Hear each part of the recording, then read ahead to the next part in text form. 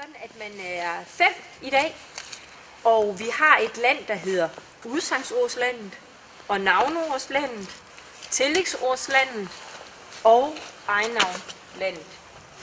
Og øh, vi skal have en, der starter inden midten. Det kunne jeg godt gøre. Det kunne du godt gøre, Rune. Yes. Så har du, øh, du bor i tillægsordslandet, Ja, ja. ikke også? Okay, så bor jeg Nej.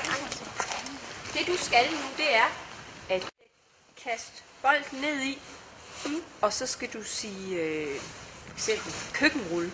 Ikke? Mm. Så hvad er køkkenrulle for et slags ord?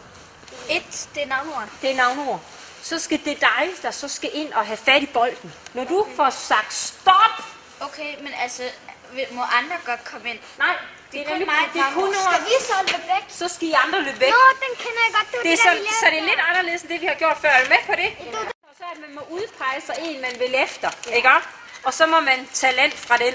Ikke? også? Altså, Vi det kan lige prøve det på et ben. Ja. Okay. Vi kan lige prøve en tur. Okay. Prøv at kaste ned og så sige et eller andet. Ja. Så ser du i midten og siger stop. Stop! Ja.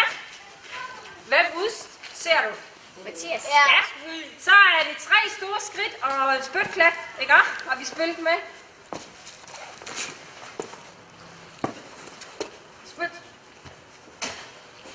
Hvor er den her? Ja, lige sådan her omkring. Lige her på stenen. Ja, lige her, kunne du se, tror jeg. Åh, sejt. Det er så også. Og så frem med basketkurven. Yes! Yes! Og så må du tegne mit land. Ja, så må hun tage Jeg har et her. Jeg har et her. Nej, det var ikke. Nej, det var ikke. Vi løbe videre herfra. Ja, så må du stå der. Hvis jeg kom så. Skal hun ikke? Så kan man ikke, fordi det er på et ben. Ja. Skal hun ikke bare? Herskenskole. Stop. Stop. Øhm. Øhm, ja, øhm. Nej, nu kan jeg ikke huske. Tre skridt. Tre skridt. Øhm, Hvad tager du? nej. Du må altså ikke tænde Spyt! Nej. Spyt nu bare!